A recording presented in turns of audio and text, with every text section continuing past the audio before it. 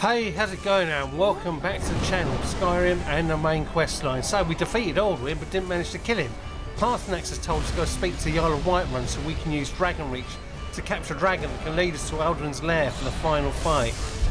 Now, I'll be keeping my commentary to a minimum as uh, this video is for hardcore Skyrim, Skyrim fans only as it's entirely uh, dialogue driven. But it's necessary to progress the storyline. Uh, and those of you who do make it through to the end, leave a comment and pat yourself on the back as you're truly, truly special. But hey, you'd have to do it yourself, so uh, why not? Okay, so moving on. But I will add, we do get something really fantastic uh, that we can use uh, in the future uh, at the end of this, so it's definitely worth doing. I'll show you later. Right, it's worth noting here, um, it says started the uh, Fallen quest, but if the Civil War hasn't been completed, um, this one won't start till uh, the season unending um, quest has been done. Uh, and it's also worth noting, um, if you read the Thalmor's dossier on Ulfric, uh, which you picked up in their embassy during that quest, uh, it's in the Thalmor's interest for the civil war to continue. They don't want either side to win, uh, as it weakens Skyrim. Um, so you bear that in mind when you're making negotiations. Always try and go a nice level um, uh, way of dealing with it and make it fair to both sides.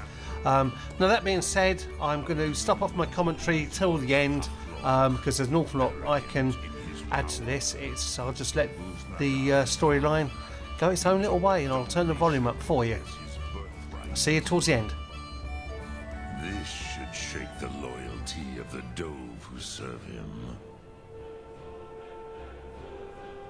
Yes, one of his allies could tell us. Mat Mahus. But it will not be so easy to convince one of them to betray him. Perhaps the Hafkasayun, the palace in Whiterun, Dragon's Reach. It was originally built to house a captive dovah. A fine place to trap one of Alduin's allies, hmm? Hmm, yes. But your Thu'um is strong. I do not doubt that you can convince him of the need.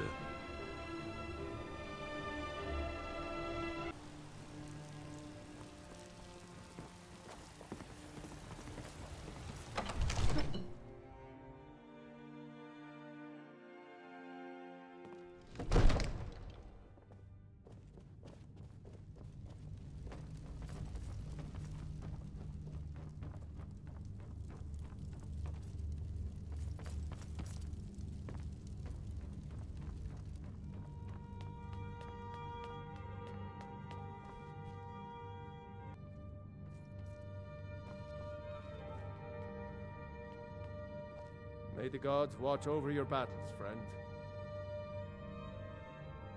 Uh, I must have misheard you. I thought you asked me to help you trap a dragon in my palace. Of course. You already saved Whiterun from that dragon. I owe you a great deal. But I don't understand. Why let a dragon into the heart of my city when we've been working so hard to keep them out. Have many enemies, more so in times of strife. Alduin, the World Eater himself. But how can we fight him? Doesn't his return mean it's the end times? I don't know about such things, but I heard the Greybeard summon you. That's good enough for me. Now what's this nonsense about trapping a dragon in my palace? I want to help you, Dragonborn. And I will. But I need your help first. Ulfric and General Tullius are both just waiting for me to make a wrong move. Do you think they will sit idle while the dragon is slaughtering my men and burning my city? No. I can't risk weakening the city while we are under the threat of enemy attack. I'm sorry. Then I would be glad to help you with your mad dragon trapping scheme, but getting both sides to agree to a truce will be difficult at this point. The bitterness has gone too deep. Maybe. Hmm. What of the Greybeards? They are respected by all Nords. High Hrothgar is neutral territory. If the Greybeards were willing to host a peace council, then maybe Ulfric and Tullius would have to listen. I, Dragonborn. Maybe you can stop the dragons, and this war into the bargain. Keep safe.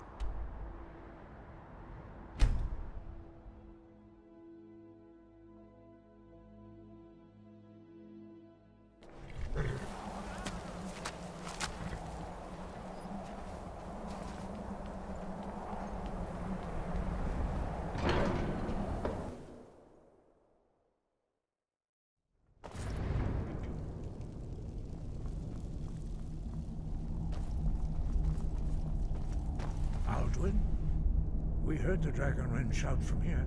You defeated him. I feared as much. I thought it was him we saw flying east after your battle. We are not warriors.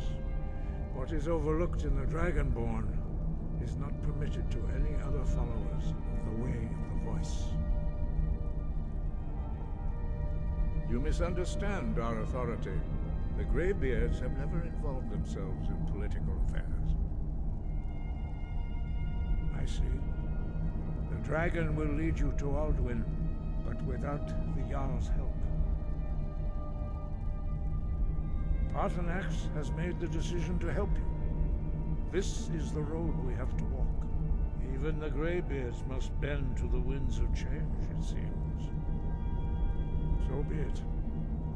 Tell Ulfric and General Tullius that the Greybeards wish to speak to them. We will see if they still remember us.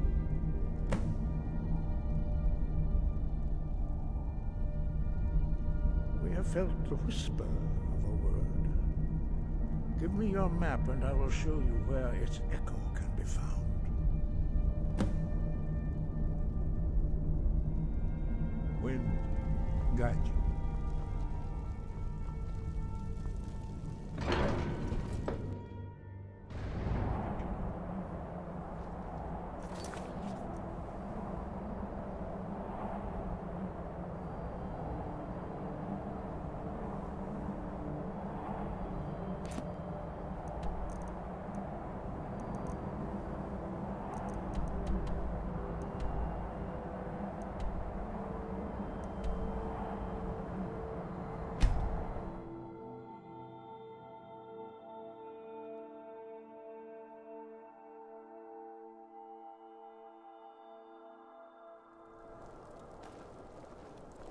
Hold it there. Keep your distance. Another girl killed. This is Susanna, from Candlehearth Hall. Served me a drink just a few nights ago, but I can't say I knew her. Until next time. Hold it there. Keep your distance. Until next time.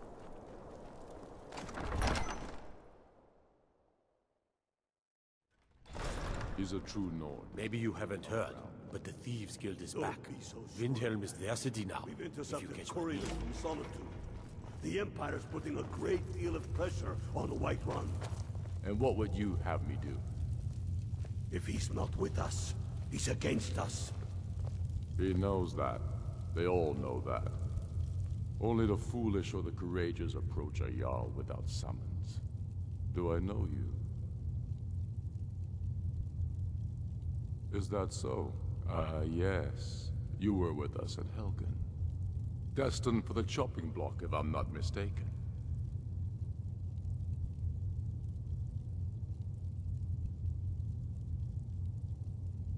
Ralof's alive. I hope that's true. He's a damn good man, but he hasn't returned yet.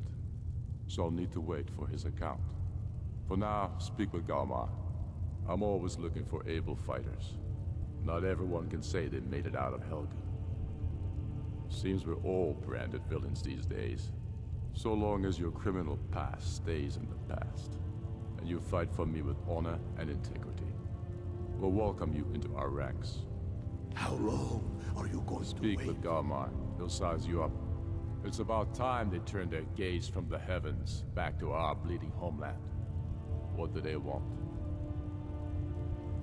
I have the greatest respect for the Greybeards, of course, and the dragon attacks are a growing plague.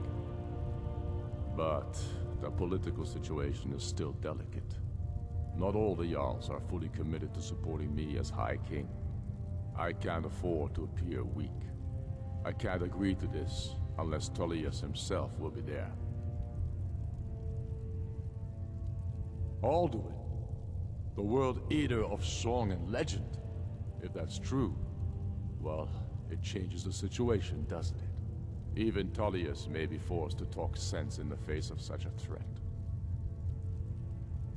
Yes, I'll give Tullius one more chance to quit Skyrim with his tail between his legs. You think I need to send both?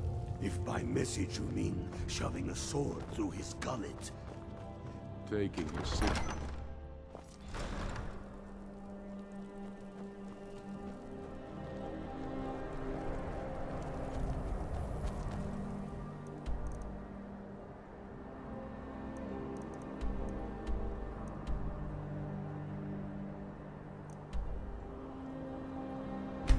Difficult and sometimes tedious, but a well-made arrow strikes forth like the fury of a god.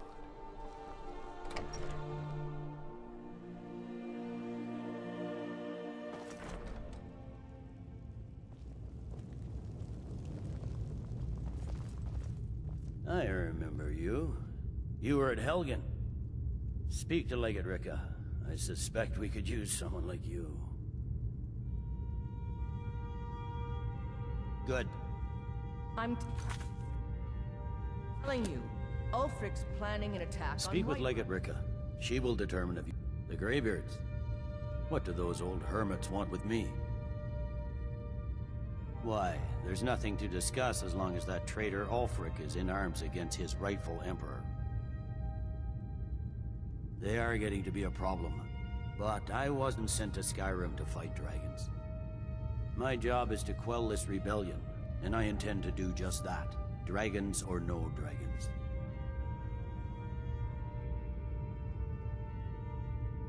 Uh, you may have a point.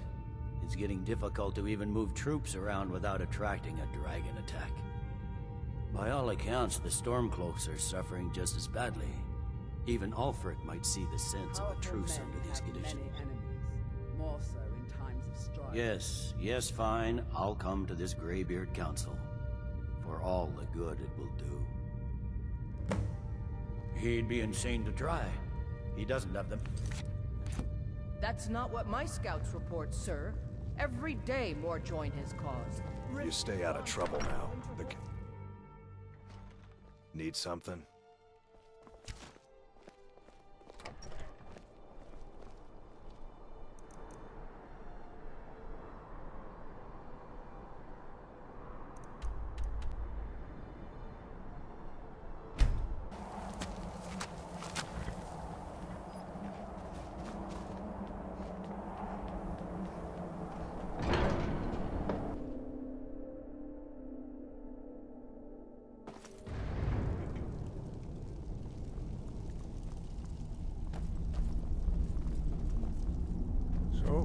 Done it. The men of violence are gathered here, in these halls whose very stones are dedicated to peace. I should not have agreed to host this council. The Greybeards have no business involving ourselves in such matters. Peace? I doubt it. They may put their weapons down for a moment, but only to gather strength for the next bloodletting. They are not yet tired of war. Far from it. You know the ancient Nord word for war? Season unending. and so it has proved. But regrets are pointless.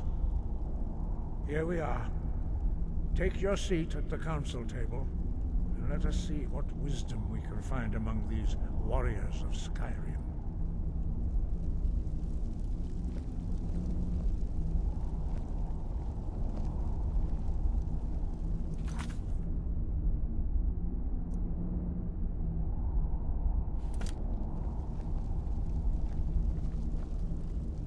So, Arngeir, is it? You know why we're here. Are you going to let us in or not? You're not invited here. You're not welcome here. We have as much right to be at this council as all of you. More, actually, since we were the ones that put the Dragonborn on this path. Were you? The hubris of the Blades truly knows no bounds. If it were up to you, the Dragonborn would sit dreaming on this mountain doing nothing. Delphine, we're not here to rehearse old grudges. The matter at hand is urgent. Alduin must be stopped. You wouldn't have called this council if you didn't agree. We know a great deal about the situation and the threat that Alduin poses to us all. You need us here if you want this council to succeed. Ah, very well. You may enter.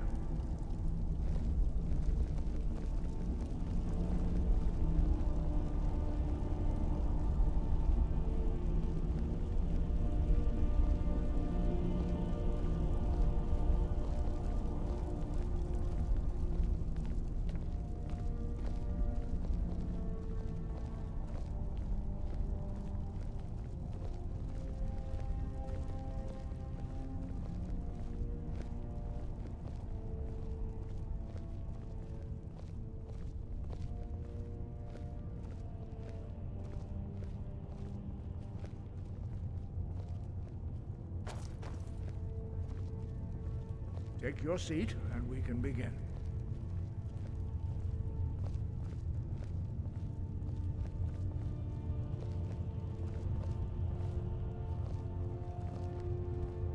We all wait upon you, Dragonborn. Now that everyone is here, please take your seats so we can begin. Hope that we have all come here no. in the spirit of... You insult us by bringing her to this negotiation? You're Chief Talos Hunter? That didn't take long. Here, here. I have every right to be at this negotiation. I need to ensure that nothing is agreed to here that violates the terms of the White Gold Concordat. She's part of the Imperial delegation. You can't dictate who I bring to this council. Please, if we have to negotiate the terms of the negotiation, we will never get anywhere. Perhaps this would be a good time to get the Dragonborn's input on this matter. By Ysmir's beard, the nerve of those Imperial bastards, eh? To think that I would sit down at the same table with that. Thalmor bitch. Either she walks or I do. I'm glad we agree on this. Very well, Ulfric. Enjoy your petty victory. The Thalmor will treat with whatever government rules Skyrim. We would not think of interfering in your civil war. Ha! Skyrim will never bow to the Thalmor. Unlike your Imperial friends here. You're lucky I respect the Greybeard's counsel, Galmar. Legate, we represent the Emperor here. Sorry, sir. It won't happen again. Now that that's settled, may we proceed? I have something to say first. Here we go. The only reason I agreed to attend this council was to deal with the Dragon Menace. There's nothing else to talk about. Unless the Empire is finally ready to renounce its unjust claim to rule over the free people of Skyrim. I knew he wouldn't be We're able to here resist. arrange a temporary truce to allow the Dragonborn here to deal with the dragons, nothing more. I consider even talking to the Empire a generous gesture. Are you done? Did you just come here to make speeches, or can we get down to business? Yes, let's get this over with. Are we ready to proceed? Jarl Ulfric, General Tullius, this council is unprecedented. We are gathered here at the Dragonborn's request. I ask that you all respect the spirit of High Hrothgar, and do your best to begin the process of achieving a lasting peace in Skyrim. Who would like to open the negotiations? Yes, let's get down to it. We want control of Markarth. That's our price for agreeing to a truce. So that's why you're here, Ulfric? You dare to insult the Greybeards by using this council to advance your own position? Jarl Elisif. General, I'll this is outrageous. You can't be taking this demand seriously. I thought we were here to discuss a truce. Elisif, I said I'd handle it. Ulfric, you can't seriously expect us to give up Markarth at the negotiating table. You hoped to gain in council what you've been unable to take in battle, is that it? I'm sure Jarl Ulfric does not expect something for nothing. Yes, that'd be entirely out of character. Want in return? Wait, General, you don't intend to just hand over Markarth to that... traitor? This is how the Empire repays us for our loyalty? Enough. First, let's be clear. This council wasn't my idea. I think it's a waste of time. You are a traitor to the Empire, and deserve a traitor's death. But I at least will negotiate in good faith.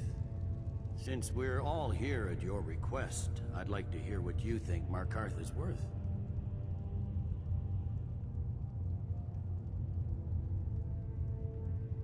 Hmm. The rift would help secure our communications with Cyrodiil, and threaten Ulfric's southern flank. The Dragonborn has spoken, Tullius. Markarth will be ours. Now we'll see if there's anything behind your talk of good faith. You disappoint me, Dragonborn. I accepted your invitation on trust in your good name. But it seems you intend to favor Ulfric. I can see now that this is not a negotiation at all. I know you, Ulfric. If I hand over Markarth, you'll be ready with a new demand. You'll never defeat the Empire, and you know it. But you're willing to sacrifice thousands for your own selfish ambition. Soon enough, I'll have you back under the headsman's axe, and this time there won't be any dragon to save you. As always, the Empire's fine words are worth nothing. Stop! Are you so blind to our danger that you can't see past your pitiless agreements? Here you sit arguing about nothing, while the fate of the land hangs in the balance. Is he with you, Delphine? If so, I advise you to tell him to watch his tongue. He is with me. And I advise you both to listen to what he has to say before you do anything rash. Don't you understand the danger? Don't you understand what the return of the dragons means? Alduin has returned, the World Eater. Even now he devours the souls of your fallen comrades. He grows more powerful with every soldier slain in your pointless war. Can you not put aside your hatred for even one moment in the face of this mortal danger? I don't know about the end of the world, but this dragon situation has gotten out of hand. If this truce will help the Dragonborn here put an end to that menace, we both gain. Remember that, Ulfric. Now, back to the matter at hand. You know as well as I do that we can't hand over Markarth on these terms. You see what talking to them gets us. Out with it, then. We want compensation for the massacre at Karthwasten. You slaughtered the very people you claim to be fighting for. True sons of Skyrim would never do such things. Damned Imperial lies. My men would never stoop to such methods, even in retaliation This is our homeland, at- Tullius. All the blood spilled in this war is on your head. So, Dragonborn, what do you say? Well said. For once you'll actually pay for your crimes. I suppose that's the fairest deal we're likely to get. It seems we may have an agreement. Jarl Ulfric, General Tullius, these are the terms currently on the table. Markarth will be handed over to Ulfric's forces, Jarl Igmund will step down, and Thongvor Silverblood will become the Jarl of Markarth. The Stormcloaks will withdraw from the rift, allowing Imperial troops unhindered access. Jarl Laila Lawgiver will step down, and Maven Blackbriar will become the Jarl of Riften. The Stormcloaks will pay appropriate compensation for the massacre at Karthwasten. You both agree to this? The Sons of Skyrim will live up to their agreements, as long as the Imperials hold to theirs. What about you, Elisif? Are these terms to your liking? Speak up! I'm sure General Tullius is waiting to do your bidding. I have nothing to say to that murderer. General, you've proven yourself a good friend to Skyrim. I continue to trust that you will do your utmost to safeguard our interests. Thank you, Jarl Elisif. I appreciate your loyalty. The Empire can live with these terms, yes, for a temporary truce, until the Dragon Menace is dealt with. After that, Ulfric, there will be a reckoning. Count on it. Come on, Galmar. We have a lot of work to do. Giving up Markarth is a heavy price for this truce, Dragonborn. I hope it was worth it. Jarl Balgruuf, I assume you are familiar with the Dragonborn's plan? Yes, I'm ready to do my part. Just say the word, and my men will help you spring this trap. But the difficulty remains how to lure a dragon to Dragon's Reach at all. Well, that's an excellent question. You haven't overlooked that little detail, have you? Ah, I believe I can be of help here. I anticipated the problem. While you were arranging this meeting, I was busy in the library of Skyhaven Temple, an unguessed trove of lost lore. But the important thing is that the Blades recorded many of the names of dragons they slew. Cross-referencing this with Delphine's map of dragon burial sites, I believe I've identified one of the dragons that Ultima raised up. Ah, don't you see?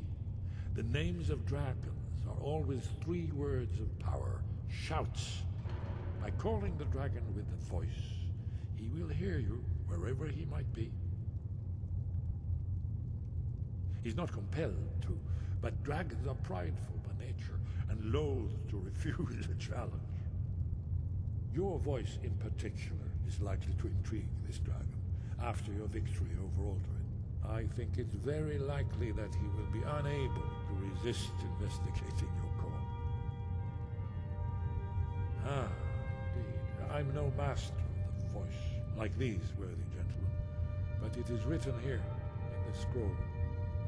Oda Vin, winged snow hunter, as I read it. I hope this truth gives you what you need. It won't last.